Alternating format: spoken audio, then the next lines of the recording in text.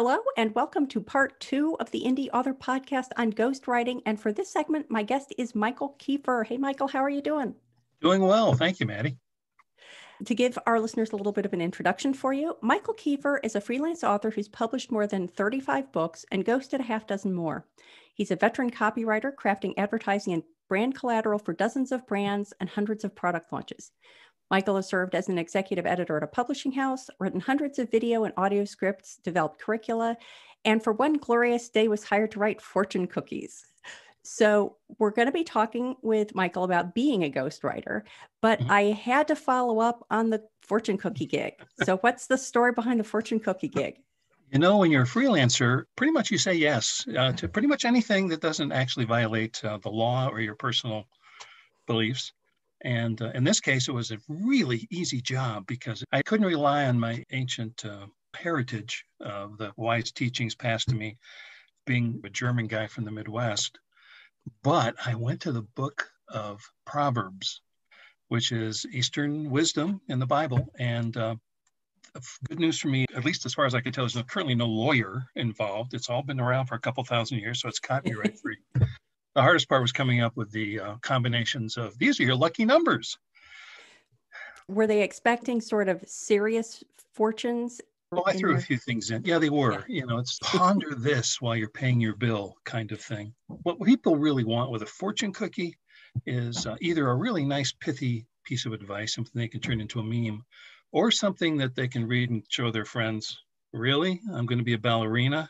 Who wrote these? It's very rarely a fortune, though. It's almost very. always advice cookies. Always advice cookies that have been completely misnamed. Yep. And my favorite one is ignore this cookie. I think I, I still have the little piece of paper that I got in one that said ignore this cookie. Where was that one I needed? I needed that one. That's good. I also can't pass up the opportunity to interject that depending on which Bible you are using, if it was the King James Bible, it actually is under a royal copyright. Oh, yes. No, I I, I, had... I, I reframed everything. There's a royal copyright. King James was very thorough, as is every other translation. But the Mikal Keefer version of that is available, and yeah. uh, I, I, leaned heavily that way. Yes. I was very surprised to hear that. I had Kelly Way on talking about how to use content legally, and we got onto biblical uh-huh. quotes, and she had that little gem of wisdom. So I thought that was interesting. Yeah. Anytime a king has done anything, you want to make sure that the military is not associated with the back end of it. That's good not to break that law. I think that's good advice. Mm-hmm. You're obviously w- well equipped to be writing advice cookies. Yeah. Thank you. Thank you very much. So tell us a little bit, now that we understand the fortune cookie gig, how did you get into the ghostwriting gig? I backed into it by accident. I, I, was working as an editor, an acquisitions editor at a publishing house, and things had changed. There was a time, and as you can tell, I've been doing this for a while, but there was a time that it didn't really matter if you had a big platform. The publishers assumed that you probably weren't going to be moving many books yourself. And so it wasn't an issue that somebody didn't have 10,000 followers here or 50,000 followers there. And we were looking mostly for people who were influential in the field. And I would go to conferences that were in areas that we were servicing, a niche that we were serving publishing books into. And I would be running up and down the hallways, seeing how many people were at each of those little breakout sessions, and then just haunt, just basically it, it's not really stalking until they file the police report. Getting to the speakers who were well known and working the circuit, checking to see what was on their merch table, finding out what they published or hadn't published. And the unicorns I were looking for were people who had something to say, were relatively well known, but had not published. And I came across a guy. As a ghostwriter, I feel ethically obligated not to reveal who I've written for because yeah. if they do, that's fine. If they don't, but let's call this guy Larry because that's not his name. And Larry was well known. There are a couple thousand people at all these conferences he's speaking to. And I approached him and said, Have you ever thought about doing a book? Because you actually have some things to say. But I want to make sure there's a book in you. Would you be willing to at least talk to me about it? So we got together, oh, a couple of times by phone and once in person.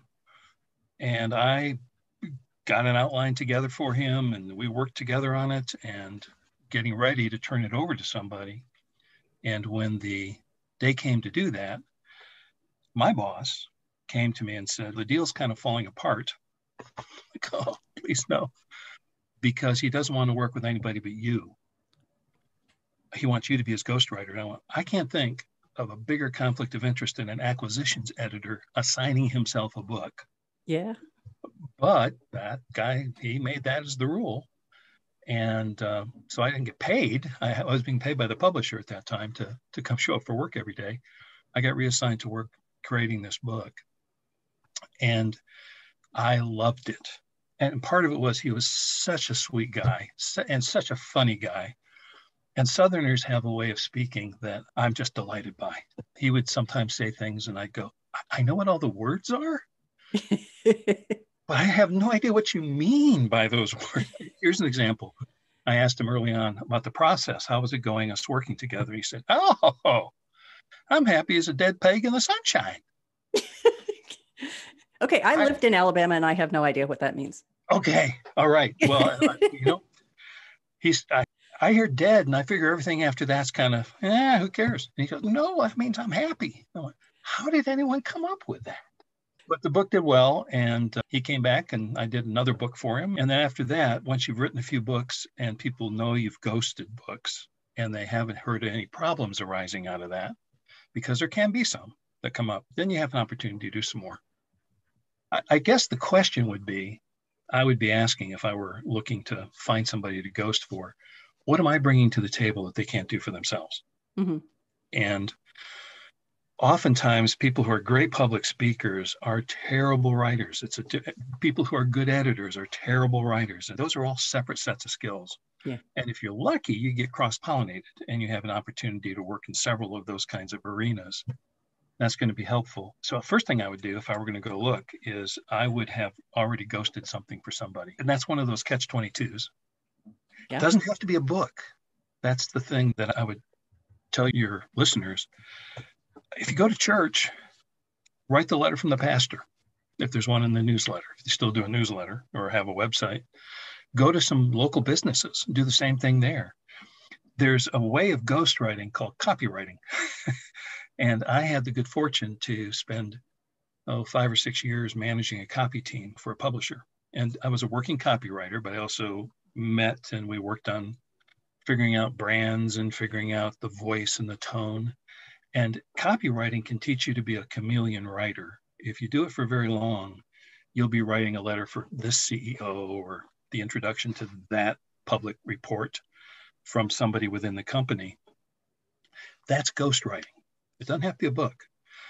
And now that really the smarter model for an awful lot of people is self publishing, and you're never really going to have to go sell a uh, mainline publisher, then you just need to be able to take that person's voice, cover the material they want, and deliver what they're looking for. Sometimes people want nothing more than their memoirs. Hey, I just want my grandkids to know me, and yeah. I can't tweet. Sometimes it's I'm one of 75 chiropractors within this zip code, and I need to show that I have some expertise. And so I want a book that I can go around and talk to the Kiwanis Club and just hand out. Those are very different goals. And so finding out person is part of it. Finding out what they need from you is the second part. And that takes some listening.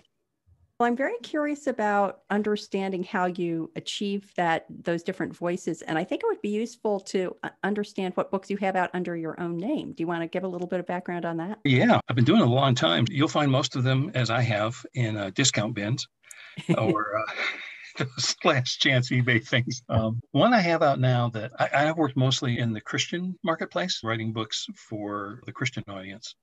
But one that's out now that's doing pretty well is called Notes from Jesus, and it's it's for early readers.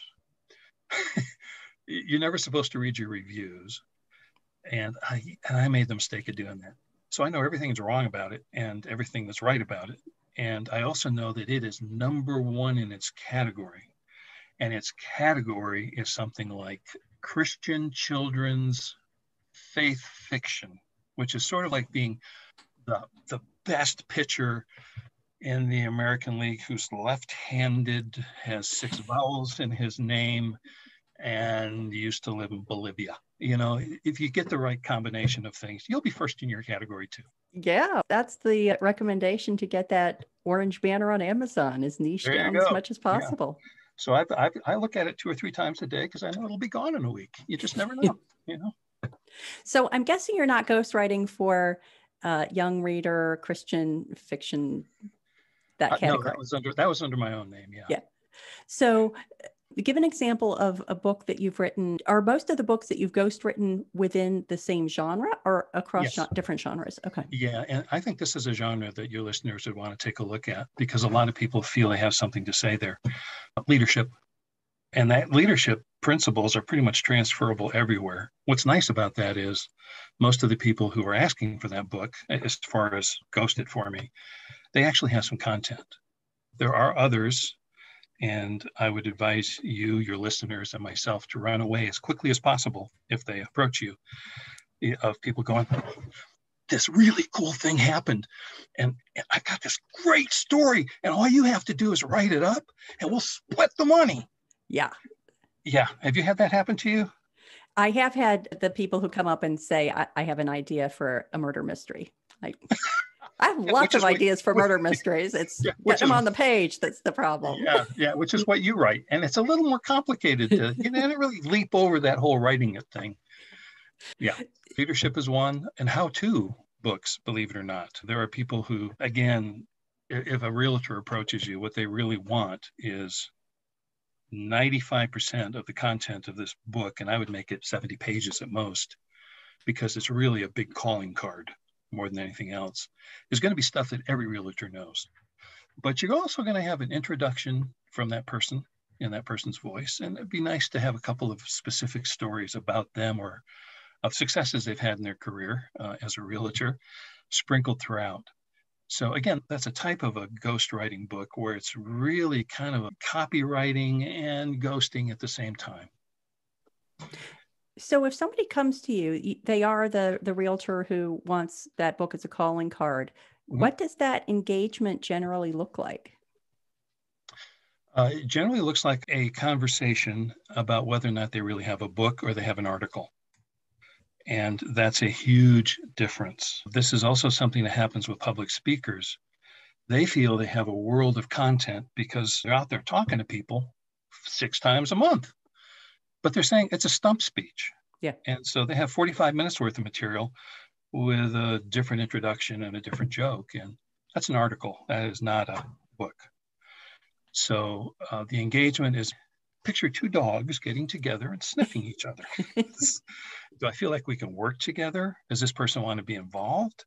Or is it just a, hey, just write something up and it, I'll say, I did it, you know? Um, so it's managing those expectations. How are we going to communicate? How are we going to know when it's done? What is it that you're expecting as the person coming to me, realtor or a person with a life story or somebody needs their life story pop down for the grandkids? Let's make sure we understand when we're talking about a book what we mean by that book. How, how long do you picture it being before you feel like it's worth doing?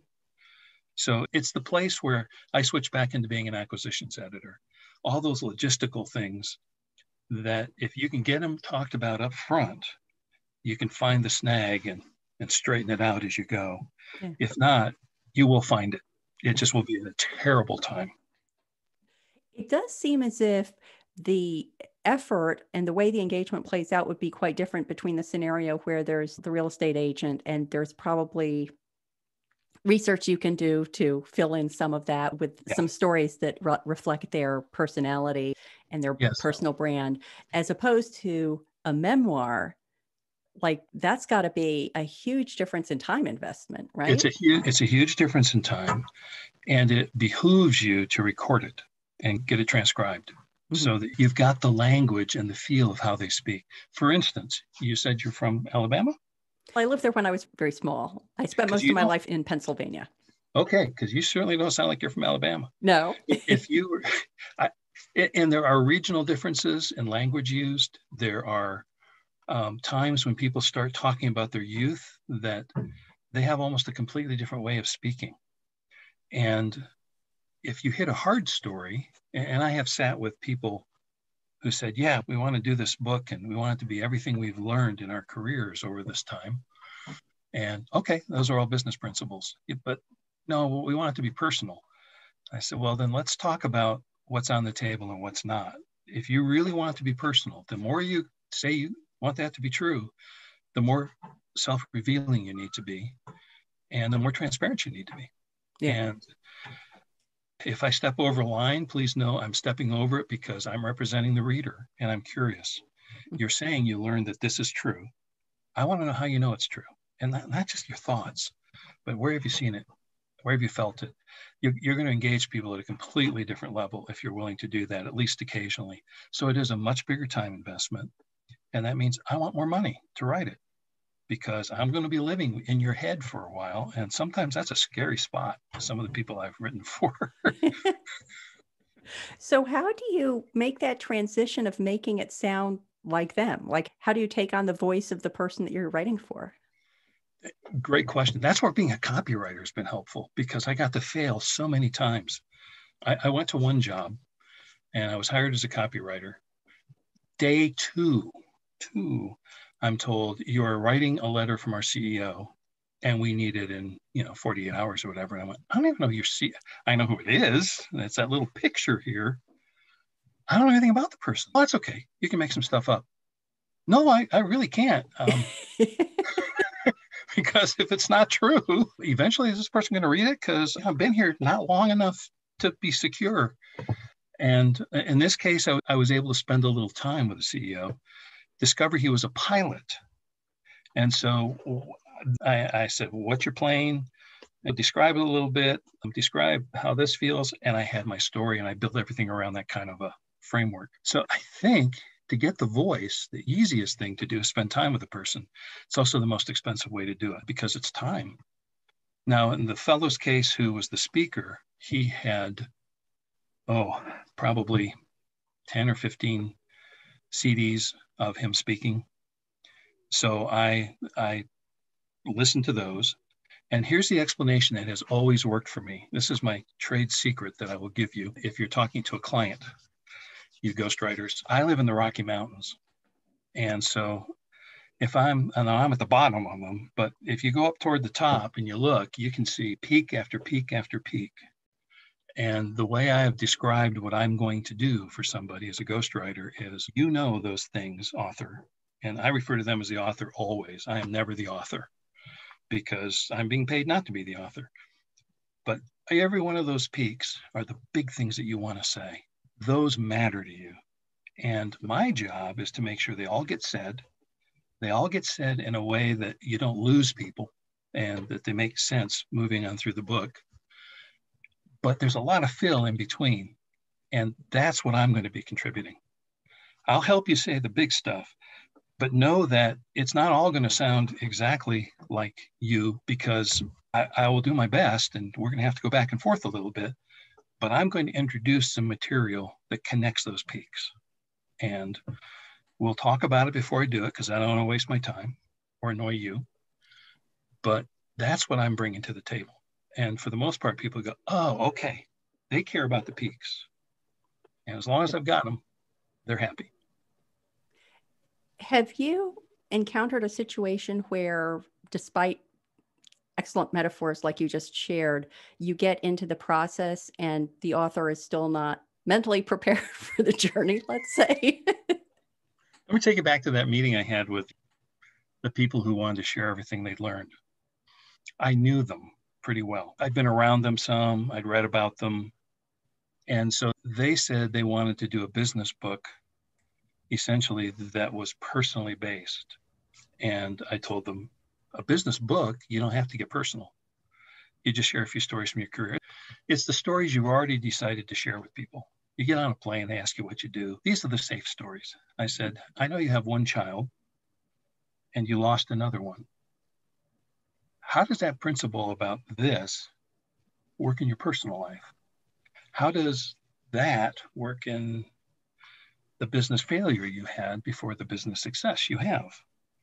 And I said, those are the things that are going to really be effective.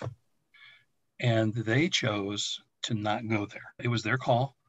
And I, I, briefly thought security will be escorting me out at any moment. I did say permission to speak freely. I want to check this. I want to know what my parameters are. And the way you find those is you step outside them and you get slapped back in a little bit. Yeah. Um, they chose to not go as personally as they thought they would. And I was already into mentally having already got that thing set up. So that was a situation where I got a little ahead of myself and I had to just throw all that out and start over again. It turned out to be a pretty bland book, by the way, but it accomplished what they wanted to accomplish. They're paying for it. I'm there to serve them. Do you read the reviews of the books you've ghosted? Never. Never. It's not my story. And normally, people who write one star reviews are not terribly um, helpful as far as the depth of their analysis. yeah. this is stupid. Well, I'm going to think that was the cover. you know? yeah. I'm like, if I'm not going to learn anything, I don't right. want to. I want to go there. I think if it's my stuff that I have an opportunity to revise, yeah, I, I, I would yeah. answer very differently. If it's somebody else's stuff, there's nothing I can do about it. So, how often are you in a situation where the the author is sharing the fact that they had a ghostwriter and sharing your name, or even just admitting they had a ghostwriter? Boy, I, have never been aware that that happened. Yeah. Let me tell you about a time that was uh, just really good fun. It's back to the guy who I originally ghost wrote for. But I'm at a conference. He's at the conference speaking. So I was back there to do something else. And so we got together and and uh, at that time, I was still acquiring things. And I said, I want to walk through the displays. There was a booth after booth. And I just want you to tell me what you think when you see it, because you're a practitioner. And he was part of a large organization, had some influence. And I thought this is a great way to, to kind of walk through this booth with different, fresh set of perspectives. Well, everybody knew him. Nobody knew me, but they were coming out of their booth going, Hey, we would you like to take a look at this? They're giving him all these samples, which he's immediately handing to me like a Sherpa because they're piling up. I'm six seven. I'm still like this, looking over things, my arms down. And I'm thinking, talk about swag, man. And, people are saying, I loved your book. I loved your book. Thank you. Thank you. And I thought, you know, this is going to be this is the moment that I will somehow come to appreciate someday. I'm still working on that, by the way. Well, I would think that that would be one of the biggest downsides of ghostwriting. That I think oh. that one of the exciting moments for any writer is being able to accept any kudos that are sent their way for their work. Is that in fact a downside for you? It's not for me because I spent so long as a copywriter. Um, when you're writing catalogs and you're writing outbound mail and you're writing websites, you have literally thousands and thousands and thousands of people reading your writing who don't know it's you.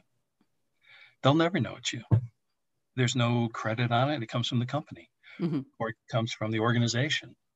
So I think being a copywriter weeds out people who have, well, who have healthy self-esteem and uh, who don't go to prison and well, there's a bunch of stuff but it weeds out some people who feel like they need to have credit for their writing because you're not going to get credited and you just learn to live with it.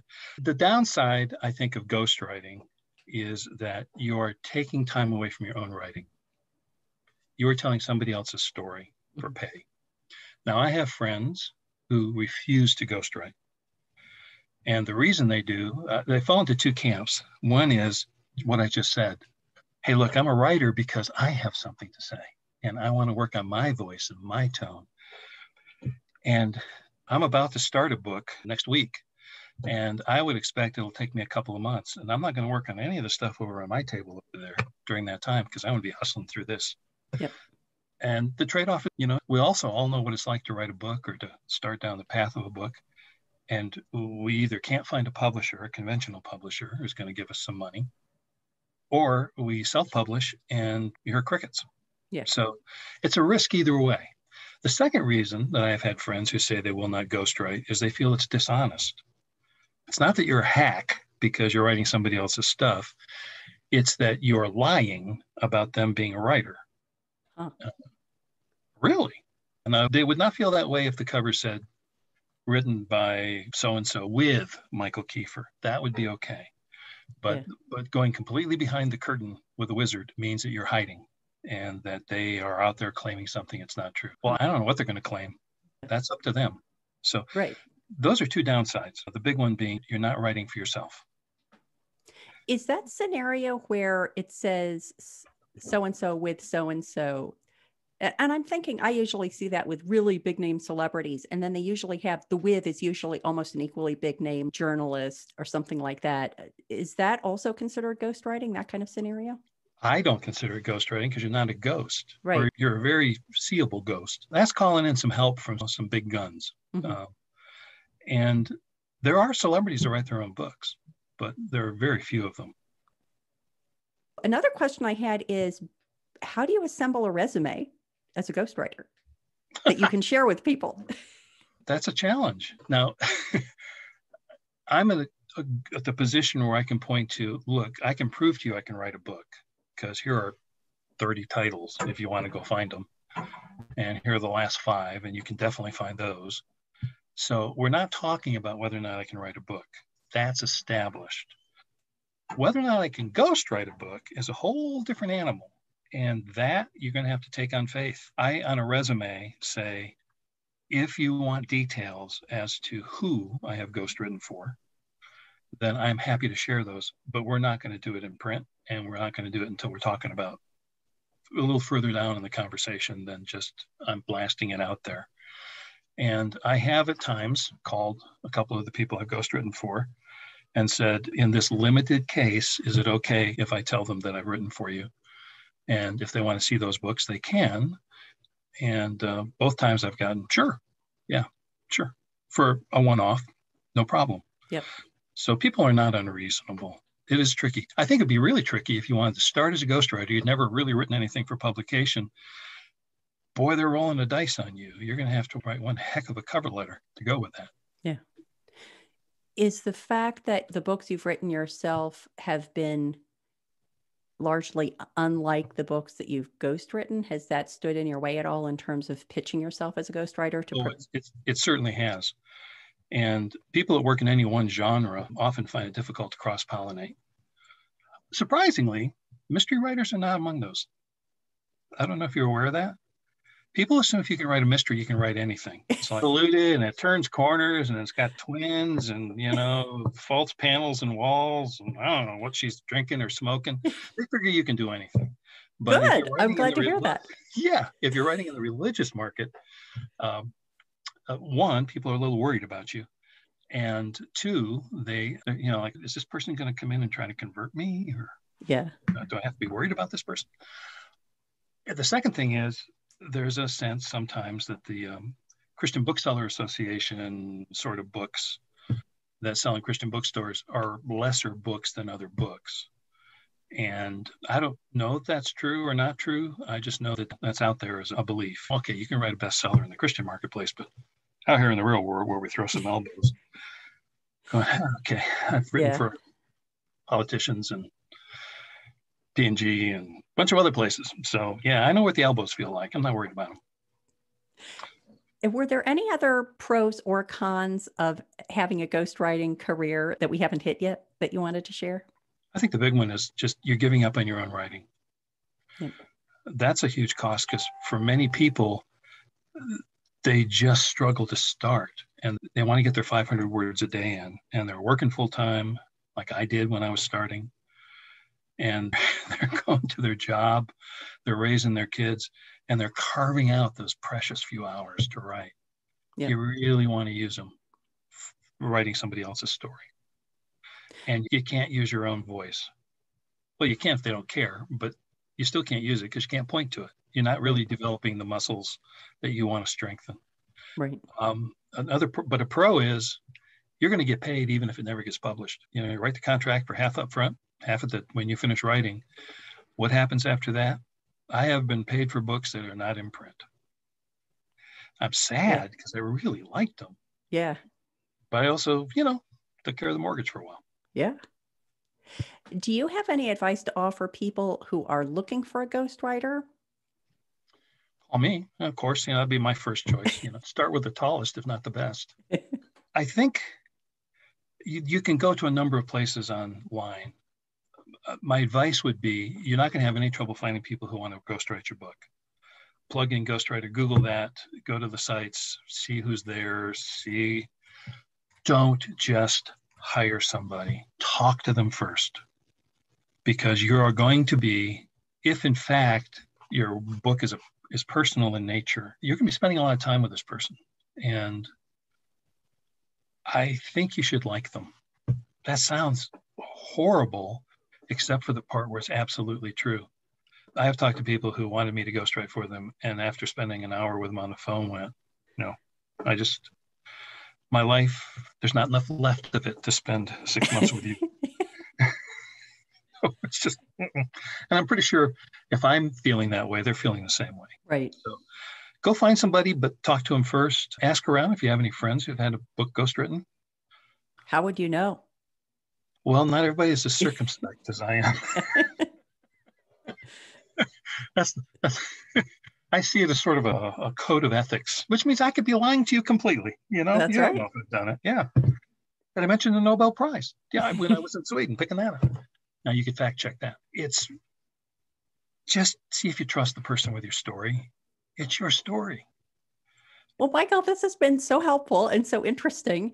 And at this point, I would normally invite people to say where listeners can go to find out more about them online, but mm-hmm. you're you kind of a, a, low profile kind of guy. I'm a low profile kind of guy. Yeah, that's what they said. You know, we'll relocate you, but we don't want people to find you easily. Well, and the uh, conversation right before yours is going to be Rob talking oh, about oh, okay. matchmaking between clients and ghostwriters. So if people want to find you, then they'll be able to find you through Rob and through Archangel Ink. They absolutely could. And Rob and I have talked about that. So I think they will be happy with that end of what happens as well. So yeah, they can find me through Rob. Well, thank you again, Mikal. This has been so helpful. Thank you.